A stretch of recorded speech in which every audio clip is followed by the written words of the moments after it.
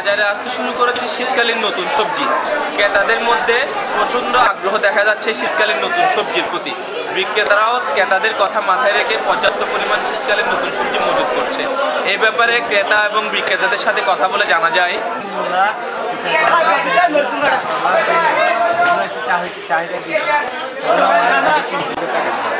শীত তো শুরু হয়েছে শীতের নতুন তরকারি আসছে বাজার জন্য কিনতে আসছে